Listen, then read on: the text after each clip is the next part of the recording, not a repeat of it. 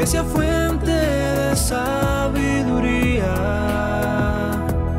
siempre pensando en ti. Iglesia fuente de sabiduría, un lugar donde Cristo va a vivir.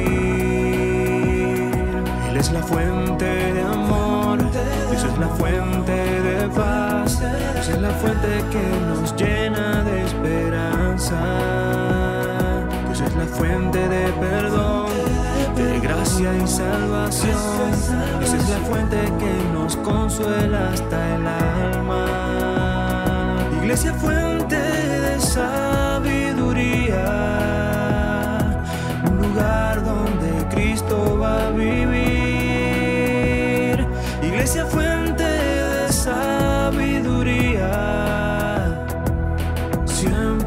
pensando en ti,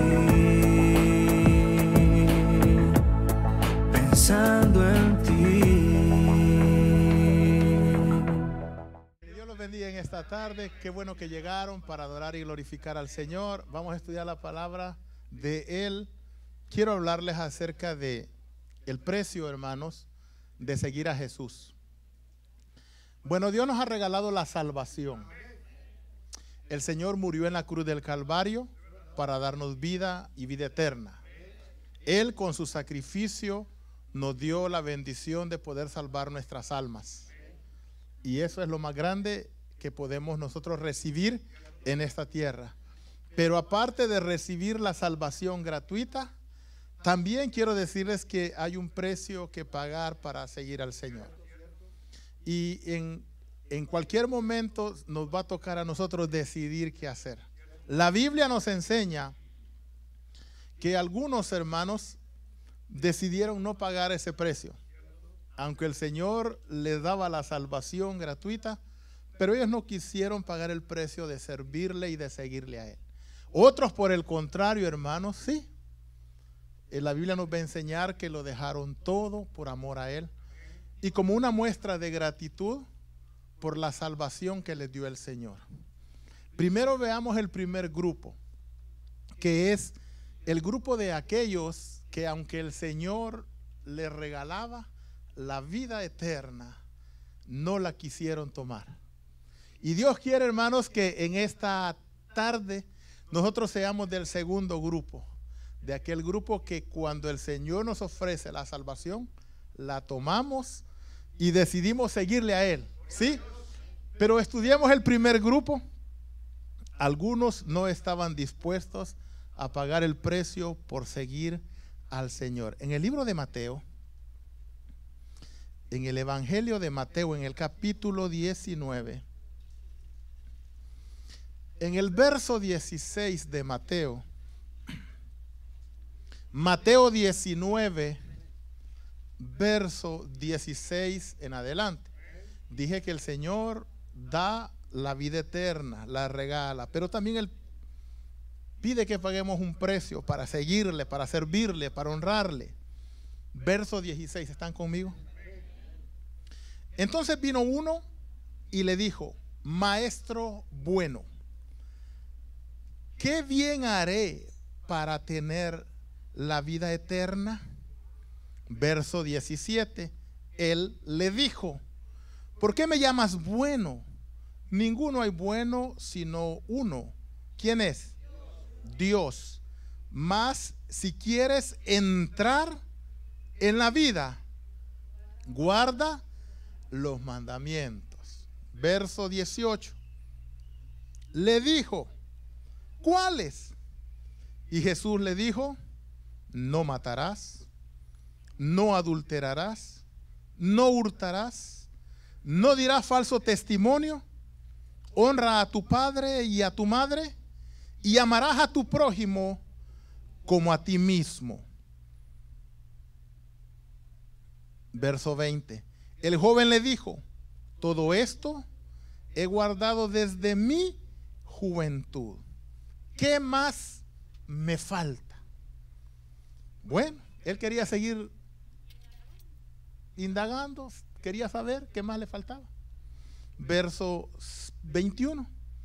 Jesús le dijo, si quieres ser perfecto, anda, vende lo que tienes y dalo a quienes. Y tendrás tesoro en el cielo. Y ven, ¿y qué más? Detengámonos hasta acá. Note que este hombre del cual estamos hablando es un hombre que tenía posesiones. Era un hombre que tenía comodidad, tenía dinero. Era un hombre que no tenía necesidades. Pero él quería saber cómo hacer para poder encontrar la vida eterna. Y por eso se le acerca a Jesús y le hace esa pregunta. Y él pensaba, pienso yo, que por hacer lo que él hacía, él ya estaba calificado para obtener la vida eterna. Porque él no se esperaba lo que leímos nosotros ahí, porque si él hubiese tenido el más mínimo indicio de que le iban a decir eso, ni se acerca a preguntar. Pero él se acerca confiado en sus hechos, confiado en que estaba haciendo lo correcto. Pero el Señor lo enfrenta y le dice, si quieres heredar la vida eterna, te falta una sola cosa. ¿Y qué vas a hacer? Dice, vende todo lo que tienes y lo repartes a los pobres. Y cuando tú hagas eso, cuando tú lo vendas todo y lo repartas a los pobres, entonces me vas a seguir. Este hombre debió haber tenido familia, hijos, casa, qué sé yo, camellos, no digo carros, bueno, camellos, pues en aquel entonces tenían camellos. No sé, los camellos me traen ciertos recuerdos a mí. Bueno, cuando fui a Senegal me subí a unos, hermanos. Tengo la bendición de, tengo fotos ahí. Hermanos, este, les quiero decir que este hombre tenía sus posesiones y a él de seguro que le habían costado mucho. Y cuando el Señor le tocó lo que más él amaba, en dónde estaba su corazón. Entonces, como dijo un hermano por ahí, se acabaron los amenes. Hermano, cuando vino el Señor y lo enfrentó, el, el, hombre se quedó atónito. Porque el Señor nada más y nada menos le estaba pidiendo, mira, todo lo que has construido y que tú dependes de eso, porque tú te has esforzado y porque tú estás amparado en eso, estás amparado en lo que tienes. O sea, tú ahorita no necesitas nada, tú todo lo tienes. Pero te vas a deshacer de todo eso y vas a comenzar a vivir conmigo, dependiendo de mí. Y a veces a nosotros no nos gusta depender de nadie. Nos, nos da seguridad tenerlo todo. Y este hombre lo tenía todo. Me imagino que tenía familia, sus propiedades y todo. ¿Saben a qué equivalía esto? A lo siguiente. Imagínense ustedes Dejemos al hombre este de, lado y pongámonos nosotros en lugar de él. El Señor está en esta tarde aquí y los mira a ustedes y le dice, deja tu casa, deja tu carro, deja tu hogar, porque yo te voy a mandar allá al África, te voy a mandar a predicar a Senegal. ¿Qué dice usted? Vas a dejar tus hijos, vas a dejar tu señora. Hermana, vas a dejar a tu esposo. Y te vas a ir tú solita a predicar allá porque el Señor te está mandando. ¿Qué haces? ¿Qué dices? ¿Qué decimos? ¿Va que es una decisión difícil? Y yo pienso que es una decisión difícil. Entonces, note que el Señor le dijo, vende todo lo que tienes lo repartes y luego dejas tu casa, tu familia y me comienzas a seguir. Esa fue la petición del Señor a él. ¿Qué harían ustedes? ¿Ya respondieron? No voy, Señor. No voy, no voy. Ahora, ¿qué hizo él? Veamos qué hizo él. Vea el siguiente verso. ¿Qué verso nos quedamos? En el 21 vamos a leer cuál. Bueno, el 22.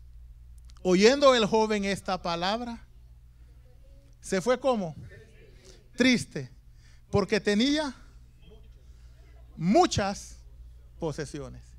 Entonces todo iba bien con el Señor, ¿verdad? todo iba viento en popa, pero cuando el Señor le dice, deshazte de esto, dice que le dio tristeza. ¿Y qué hizo? Dejó al Señor acá y ¿qué hizo? Y dice que se fue triste. Se fue triste. A nosotros a veces nos pasa eso. El Señor nos enfrenta y nos pide que dejemos algo. Pero ese algo es, lo amamos tanto, hermanos, que decimos, Señor, mejor otra vez y nos vamos. ¿Qué te estará pidiendo el Señor a ti? ¿O qué es lo que ah, te aleja del Señor? Bueno, este hombre se fue triste. Dios quiera que tú no te vayas triste en esta tarde. Que te vayas con el Señor de la mano. Que dejes eso que te da seguridad y que te agarres del Señor.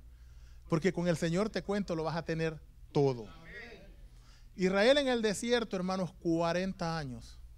Dice la escritura, dice la palabra del Señor, que su calzado, hermanos, en 40 años, ¿saben qué? Nunca se desgastó. Su vestido, hermanos, intacto. Poder de Dios. En el día una gran nube le daba la sombra del sol sofocante en el desierto y en la noche una gran bola de fuego los calentaba. ¿Cuántos dicen amén? Israel dependía de Dios en el desierto, hermano. Cuando Dios nos llama, vamos a depender de Dios y no de nosotros mismos. Aunque a nosotros nos gusta depender de nosotros mismos. Pero no nos gusta, explicaba el hermano aquí presente temprano, no nos gusta ir al desierto. Porque en el desierto, hermanos, estamos solos con Dios y dependemos de Dios. Pero es una experiencia preciosa allí en el desierto. Entonces, si alguno está en el desierto, glorifique a Dios, porque allí va a conocer a Dios. En la necesidad. El joven rico le dijo no al Señor. ¿Qué le has dicho tú al Señor? Espérame más para allá. En este día te invitamos a que le digas, Señor, aquí estoy. Y voy a dejar lo que me estás pidiendo. Puede ser pecado, vicio, cualquier cosa que te detenga. Tú lo dejas y lo pones en las manos del Señor y el Señor te va a ayudar. Amén. En Lucas capítulo 9, vayamos al libro de Lucas. Encontramos otro personaje ahí que le detuvo algo. Lucas 9, verso 59. No.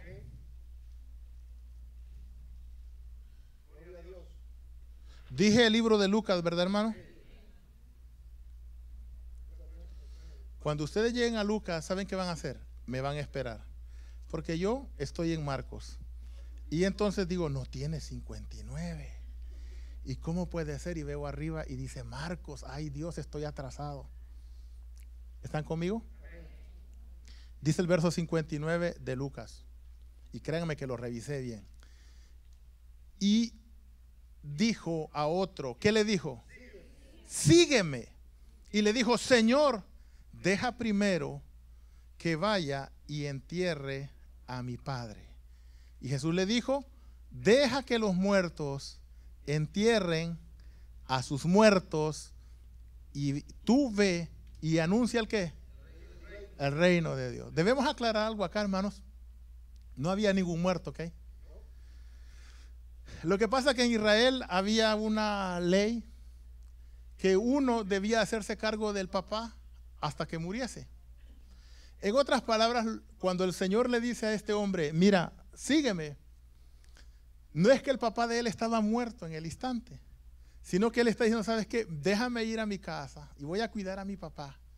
Y cuando yo ya, cuando yo ya cuidado, lo haya cuidado mucho tiempo, y cuando él ya se haya ido a descansar, o sea, cuando yo no, ya no tenga yo el compromiso de sostenerlo a él, de cuidarlo, entonces cuando eso ocurra, entonces yo, entonces te voy a seguir. ¿Sí están entendiendo? A veces nos pasa eso, se han fijado, en la, en la parábola de, de las bodas del Cordero, dice que el Señor hizo invitaciones. A uno lo invitó y le dijo, me he comprado una hacienda. ¿Se recuerdan? Invitó a otro y le dijo, me he comprado cinco yuntas de bueyes, no puedo ir, espera, tranquilo.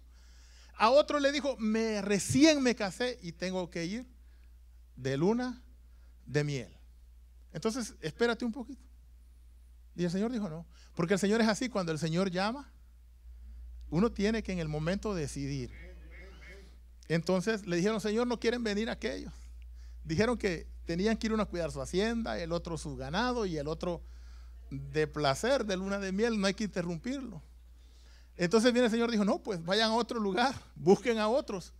en, en, mi casa, en la fiesta, tiene que haber gente. Y dice que buscaron a otros. ¿Sí? Entonces, acá en este caso, este también está dando una excusa para no seguir al Señor. Y el Señor nos pregunta en esta tarde, ¿qué es lo que te impide seguirme? ¿Qué, qué es aquello que te detiene para que yo pueda estar contigo? Hermanos, no hay compañero mejor que el Señor Jesús. No hay bendición más grande es que tener al Señor de nuestro lado. Porque el Señor nos guarda, nos protege, nos bendice, nos cambia, nos transforma, nos llena de, de su gloria, nos llena de su gozo, nos llena de su paz y nos da la seguridad sobre todas las cosas. ¿Sí?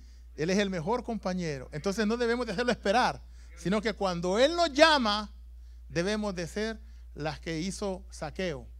Jesús iba caminando y dice que Saqueo intentaba verlo. Intentaba verlo, pero Saqueo era como. Era chaparrito y por más que, que le hacía, no podía. Y dice que el Señor iba. ¿Para dónde iba, hermanos? ¿Para dónde iba, ¿Para dónde iba el Señor? Para la casa de saqueo. Y cuando vio que iba, dijo, ah, va a pasar debajo de aquel palo. Y se fue saqueo, me imagino, corriendo, ¿verdad? Y comenzó a subirse al árbol y se quedó y dijo, aquí va a pasar.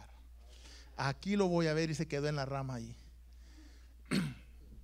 imagino el Señor venía y de repente el Señor se detiene y lo mira.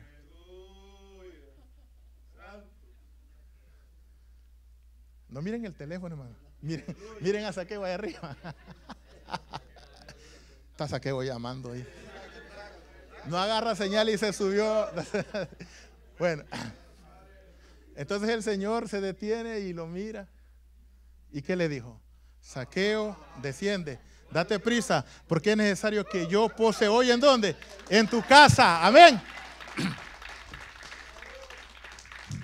No te vayas sin el Señor en este día. Llévatelo a tu casa. Es la bendición más grande que puedes recibir. Los que lo tenemos, te podemos decir que es lo que mejor nos ha pasado. Te cuento que si volveríamos a nacer, lo volveríamos a hacer y lo haríamos más jóvenes todavía. Yo me tardé, hermanos. Yo me tardé. Hoy no me tardaría. Yo, yo creo que usted tampoco, ¿verdad? Hermano Felipe dice que lo estuvieron insistiendo, insistiendo. Y a todos, hermanos. A todos nos insistía. Si volviéramos a nacer, después de haber tenido esta experiencia, es más, de que tenemos el pequeño conocimiento, decidiríamos servirle al Señor porque es la bendición más grande que nos pudo haber pasado. Pero este dijo, deja que primero vaya y cuide a mi papá y hasta que se muera. Hasta entonces te voy a seguir. No, dijo el Señor. Entonces este no estaba dispuesto a seguir al Señor. Y por último, hermanos, Hebreos 12.1, habla que a veces el, el peso del pecado o cualquier otra cosa nos detiene. Hebreos 12, verso 1.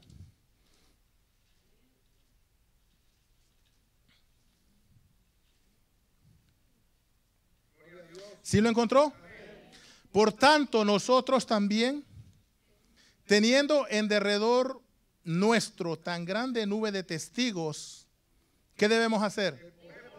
Despojémonos de todo peso y pecado que nos asedia y corramos con paciencia la carrera que tenemos por delante. Hermanos míos, a veces hay un peso que está sobre nosotros y ese peso no nos deja seguir al Señor. Y a veces, hermanos, el pecado está en nuestra vida y es el pecado el que nos detiene seguir al Señor. La Biblia dice que la luz vino al mundo. Pero los hombres amaron más el que? Las tinieblas que la luz. Hay cosas que son tan poderosas en tu vida que no te dejan avanzar. No te dejan avanzar. Y te tienen detenido y te tienen amarrado allí. Entonces, pero Dios te dice en esta tarde, porque no soy yo el predicador, quien te habla, sino es Dios quien te habla. Y no te enojes conmigo porque te digo la verdad, enójate con cualquier otro que no te, que no te enfrenta con la verdad. Deja tu pecado, deja, deja eso que te ata, deja eso, libérate. El Señor te puede ayudar a hacerlo. Dale tu vida al Señor y el Señor va a terminar, te va a quitar ese peso y vas a ser libre en el nombre del Señor. Entonces este es el primer grupo, el que no quiso seguir al Señor. Nosotros qué bueno que no estamos ahí, ¿verdad que sí? Porque si estamos aquí es porque, hermanos, necesitamos del Señor y tenemos la fe que aunque vamos a veces, hermanos, así, ¿verdad? Arrastras quizás, pero el Señor nos va a ayudar. Y es una buena señal estar aquí. Así es que vamos a tener paciencia y vamos a esperar que el Señor toque nuestra vida en su tiempo, en su momento y nosotros a seguirle. Ahora, algunos sí estaban dispuestos a seguir al Señor. Este grupo me encanta y a usted también le va a encantar. Usted se va a identificar con ellos y usted va a decir, wow, me encanta cómo hizo él. Y ese, igual que ese soy yo. Vea lo que dice Mateo 4. Mateo 4. Algunos sí estaban dispuestos. Y no le rogó nada en absoluto el Señor. A la primera, hermanos, le dijeron que sea el Señor. Así como cuando nos gusta algo, ¿verdad? Mateo capítulo 4, versículo 18. Andando Jesús junto al mar, ¿están conmigo? Andando Jesús junto al mar de Galilea, vio a dos hermanos a Simón llamado Pedro y Andrés, su hermano, que echaban la red en el mar porque eran pescadores. 19 y les dijo, venid en pos de mí y os haré pescadores de hombres. Verso 20. Entonces ellos dejando, oiga, entonces ellos dejando, ¿qué sigue ahí?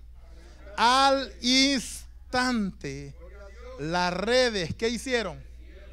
Le siguieron. ¿Cuántos dicen amén? Estaba esta gente, hermanos, ahí con sus redes. Me imagino que las estaban remendando porque las redes al pescar a veces se atoran en, pedazos de madera, en pedazos de palo, en ramas y se le hacen agujeros. Entonces ellos tenían sus redes ahí. Y, hay varias partes. Una dice que estaban remendando, otra dice que las estaban tirando. En este caso las están tirando la red. Pero dice que cuando el Señor los llamó, dice que al instante la dejaron sus redes y quisieron, le siguieron. Esta gente tenía familia. Esta gente tenía hijos. Porque allí dice la Biblia más adelante, por ejemplo, en el caso de Pedro, que tenía suegra. Que la suegra tenía fiebre y que el Señor la sanó. Si tenía suegra, tenía esposa, tenía casa. Entonces, pero estos no anduvieron como aquel pensándolo. No. Ellos dice que dejaron al instante y se fueron. Y eso es lo que el Señor quiere ver en nuestra vida. Que nos decidamos, ¿sí? Que dejemos cualquier cosa que sea un obstáculo para que le sirvamos y que nos entreguemos a Él. Amén. Bueno, ese es por un lado. Ahora vea, vea otro, otro grupo. En Lucas, en el capítulo 5, Lucas capítulo 5, también encontramos a Leví. Y este Leví, hermanos, 5.27, ocurrió lo siguiente. Leví, eh, Lucas 5.27. Aquí encontramos al personaje llamado Leví que le ocurre lo siguiente. Después de estas cosas, salió y vio a un publicano llamado Leví sentado al banco de los tributos públicos ¿Y qué le dijo? Sígueme. Y le vi que hizo, verso 28, y dejándolo todo, se levantó y ¿qué hizo? Le siguió.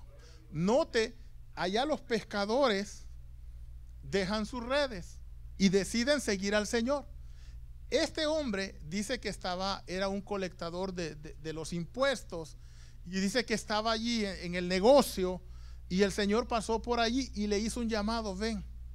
Y dice que él al instante, note los dos casos al instante, al instante decide dejarlo todo y seguir al Señor. Qué bonito, hermanos. Qué bonito que al instante, ¿sí? Ellos decidieron seguir al Señor. Entonces hay otro grupo, hermanos. Miren este otro grupo. Marcos capítulo 10. Marcos en el capítulo 10. Regresamos un libro atrás. Capítulo 10, verso 28. Marcos 10, 28. 10, 28. Dice, entonces Pedro comenzó a decirle, he aquí nosotros hemos dejado algunas cosas. Eh, ¿Leí mal? ¿Leí mal, verdad? Ok, bueno, lo hice adrede para ver si están conmigo. Entonces Pedro comenzó a decirle, he aquí nosotros lo hemos dejado todo y te hemos seguido. ¿Leyó bien? Ok, venga conmigo ahora. Pedro le dice que lo había dejado todo. Cuando el Señor llamó a Pedro, Pedro le siguió. Y Pedro dejó su casa, su esposa, su suegra, lo dejó todo. Y siguió al Señor. Y eso equivalía ya no estar en su casa, hermano. Eso equivalía a andar con el Señor. Ir a una ciudad y quedarse durmiendo en esa ciudad. Predicar el Evangelio y seguir a otra. Y así andar. ¿Qué creen que le pudo haber dicho la esposa a estos hombres, las esposas de ellos? ¿Mm? Hermanos, los que tenemos esposa acá, ¿qué creen que nos diría la señora si le decimos, me voy a ir a predicar? ¿Y quién va a pagar la casa? ¿Y quién me va a pagar el carro? ¿Y quién le va a echar gasolina al carro? Cuando se me daña la llanta, ¿quién la va a cambiar? ¿Y quién me va a traer flores el 14 de febrero? ¿Y quién te va a cocinar allá afuera? Acordate. ¿Te gusta, ¿Te gusta mi comida? ¿Tú no cocinas bien? Sí. Acordate que a puro juguito te tengo para que no pierdas. Vas a comer pu- puras cosas grasosas allá afuera. Hermanos, estos hombres tuvieron que, esta- estas dificultades las tuvieron que vencer ellos. Yo lo hago así, gracioso, para que nos dé risa y todo, pero hay una gran verdad allí. Ellos, de verdad, de verdad, hermanos, con el corazón aquí en la mano, hermanos, ellos tuvieron grandes dificultades, pero lo hicieron. Y Dios es el mismo de ayer, de hoy, y pide lo mismo. Te va a pedir lo mismo a ti, lo mismo a mí. Y debemos de estar dispuestos a dejarlo todo. Esto no quiere decir que usted va a llegar hoy en la noche y le va a decir, señora mía, hasta aquí llegó, me voy. No, tampoco. El pastor dijo eso, no, tampoco, no. No malinterprete el mensaje. No es así. Estoy diciendo que hay cosas que interfieren en relacionarnos con Dios y que esas cosas le debemos de poner un alto y debemos de permitirle al Señor obrar en nuestra vida. Si estos hombres dejaron su familia, hermanos, imagínate algo, algo tan sencillo como lo que a ti te detiene. ¿Sí? Entonces vamos entonces nosotros a ser imitadores de estos grandes hombres y vamos a seguir al Señor. Que no te detenga nada por servirle al Señor. A veces cualquier cosita así nos detiene. Ay, que no me saludaron los hermanos. Me pasaron allí ni me vieron. No vuelvo a ir. Y voy a otra iglesia y lo mismo. No, hermanos, son pequeñeces. Estos hombres dejaron sus casas, dejaron sus familias por seguir al Señor. Y no los detuvo nada. Entonces nosotros igual que nada nos detenga. Amén. Ahora, ¿habrá recompensa para aquellos que dejen todo por amor al Señor? Bueno, en Mateo 19, mira lo que dice la escritura. Mateo 19. Mateo 19, versículo 27.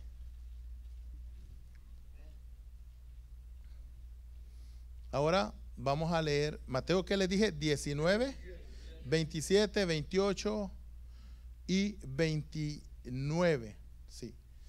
Oyendo el joven dice, esta que palabra se fue triste porque tenía muchas posesiones, 23. Entonces Jesús dijo a sus discípulos, de cierto os digo, que difícilmente, ¿están leyendo conmigo? Ah, 23. De cierto digo, difícilmente un rico entrará en el reino de los cielos. Otra vez os digo que es más fácil pasar un camello por el ojo de una aguja que dice que entrar un rico en el reino de Dios. Sus discípulos oyendo esto se asombraron en gran manera, ¿ok? Nos saltamos ahora hasta el versículo, para no leerlo todo, el verso 29. Y cualquiera que haya dejado casas, hermanos, hermanas, padre, madre o mujer o hijos o tierras por mi nombre, recibirá cuántas veces? Y heredará eterna. La recompensa es grande. Vale la pena dejar cualquier cosita que nos detiene. Yo quiero decirte que, ah, que sí, que vale la pena. Que no hay nadie que pague tan mejor como el Señor. Cuando nosotros decidimos dejar cualquier cosa por amor al Señor, el Señor nos premia. Y yo quise en este día compartir este mensaje contigo y animarte y motivarte a decirte que debes dejarlo todo por amor del Señor. Que nada te detenga para que le sirvas al Señor. Que seas una persona ah, que atiende el llamado del Señor con rapidez que el Señor sabe premiar y que Él te va a premiar a ti y que te va a bendecir. No importa que pierdas cosas materiales, Dios te las va a devolver en algún día. Y por último, para orar ya, leemos Filipenses 3. Filipenses capítulo 3. Qué bueno que seamos como lo que dice Pablo acá. 3 verso 8.